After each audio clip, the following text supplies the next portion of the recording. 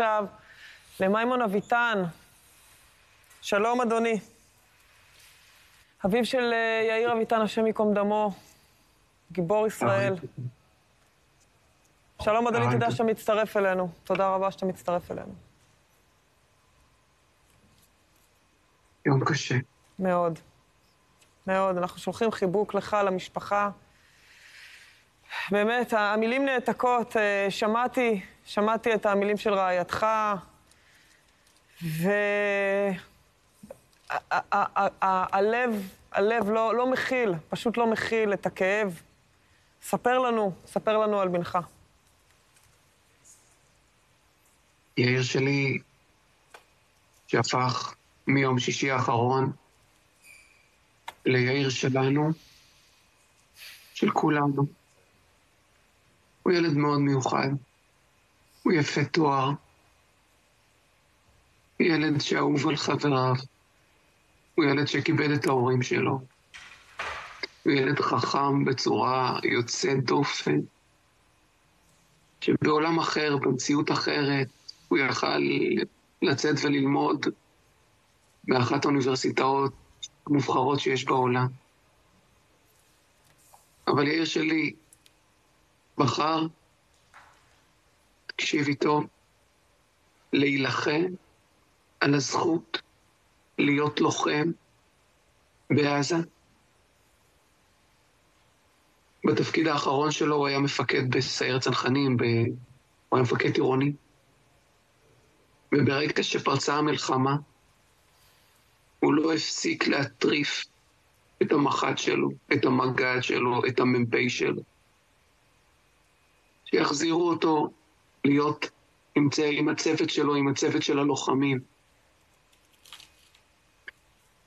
היום בבוקר, כשסיימנו את תפילת השחרית, הייתי לבד כמה דקות בודדות, והגיע אליי, הייתי רוצה, כאילו, תביני מי זה יאיר שלי. כן.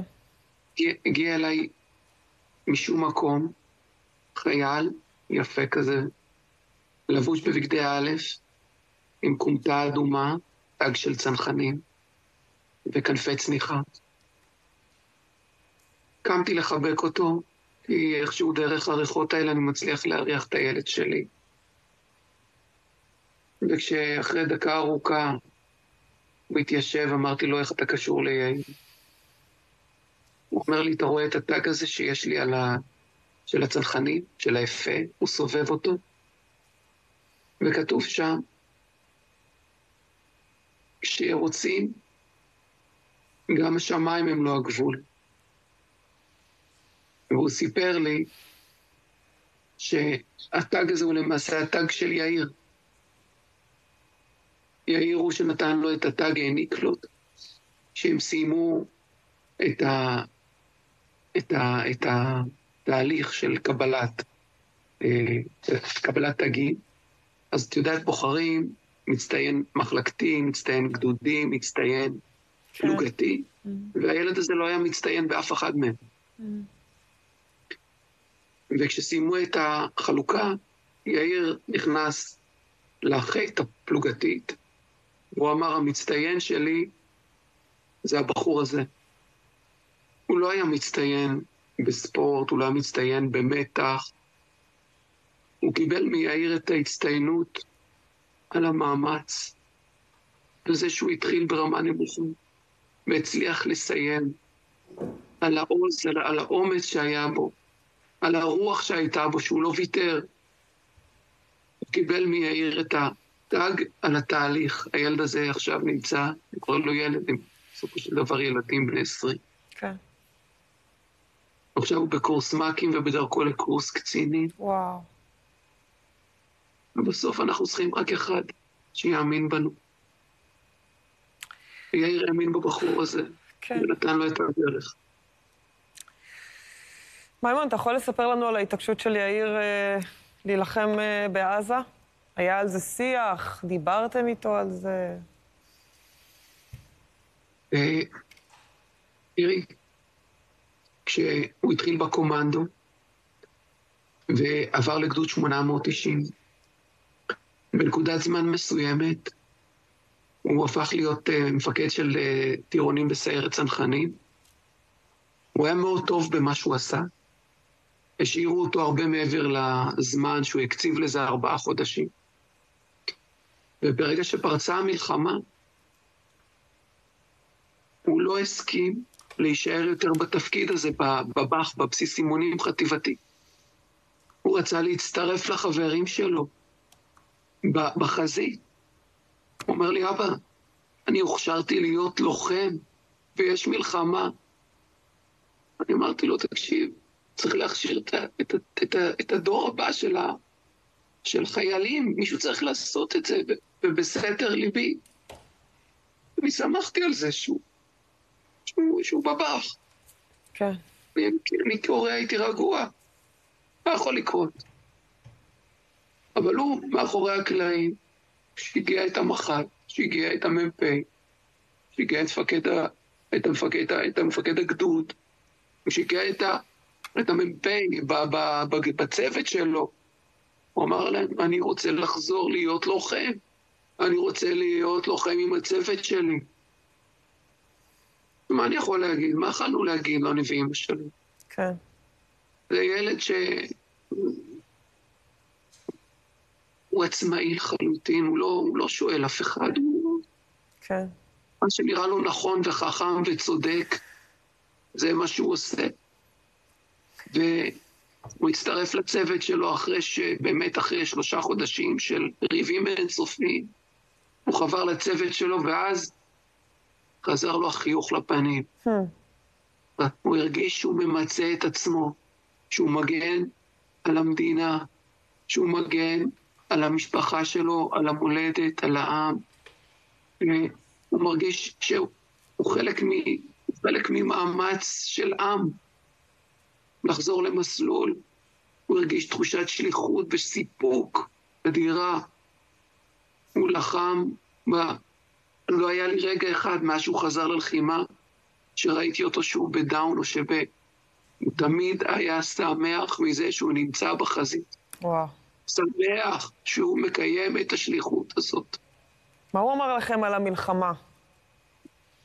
על המלחמה הזאת של הדור הזה, הדור, דור הניצחון, דור הגיבורים הזה.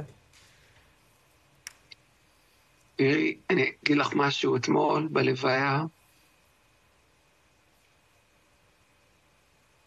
קודם כל כשנסענו ללוויה, ואת רואה ש... את רואה אלפי אנשים, אלפים. מבינה שאנחנו עם, אנחנו לא לבד, אנחנו עם, אנחנו כולנו בתוך הדבר הזה. אין אני והוא וימין וזה, אנחנו כולנו, את רואה, אני בטוח שבאלפים האלה היו ימין ושמאל ושלל ומגוון של דעות, שלל דעות. כן. אבל כולם עמדו והניפו את הדגל כדי שיאיר יוכל. וכשהסת... וכשבתוך הלוויה הגיעו הלוחמים וחיבקו אותי, וחיבקו אותנו, ואת רואה את הילדים האלה. יאיר לא לבד, הוא לא גיבור לבד. הרחתי אותם אחד-אחד, סנפתי אותם אליי, קירבתי אותם, חיבה חזק. ואת רואה שכולם אמיצים, כולם חדורי מטרה, כולם יפי תואר ברמות שלא ניתן להאמין.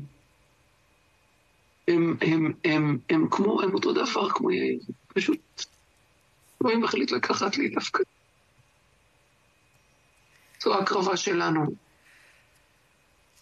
למען העם, למען המדינה. בפרשת השבוע בש, בשלח, עשרה, עשרה נשיאי העדה, העילית, אמרו כי רעה הארץ, הוציאו את דיברת הארץ רע, ושניים, שניים בלבד אמרו כי טובה הארץ מאוד מאוד. כן. אני אומר לך שטובה הארץ מאוד מאוד, למרות המחיר הכבד ששילם. מימון, אה, וזה לא יהיה.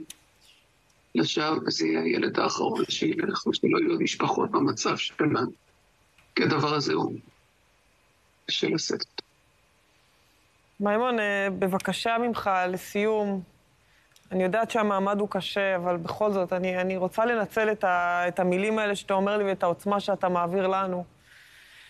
כמה מילים לציבור הישראלי, אולי ללוחמים. ללוחמים אני רוצה לומר, לא, נתחיל מהציבור הישראלי. לציבור הישראלי אני רוצה לומר. יש מגוון דעות. אנחנו אנשים שונים, מטבע הדברים. כל אחד מחזיק בדעה אחרת. אבל בסוף, אנחנו עם אחד.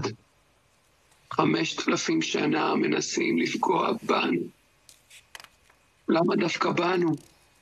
חמשת אלפים שנה העם הזה שורד. יש סיבה לזה, שבכדור הארץ שלם, עם אין ספור עוולות, מחפשים דווקא את הנקודה הקטנה הזאת של ה-21 אלף קילומטר רבוע. אנחנו עם אחד, אנחנו יהודים, יש מאחורינו את תורת ישראל, זה מי שאנחנו, ואנחנו צריכים לשאוף להיות מאוחדים. זה מה שיש לומר לאחיי, ליהודים. ולבני הלאום הנוספים שהצטרפו אלינו ומאמינים בקיומה של עם ישראל. וללוחמים, אני אומר, תסתכלו לי בעיניים, אל תיראו ואל תחתו. אנחנו נלחמים במלחמה צודקת. אנחנו ננצח, אתם תנצחו. אנחנו מאמינים בבורא עולם.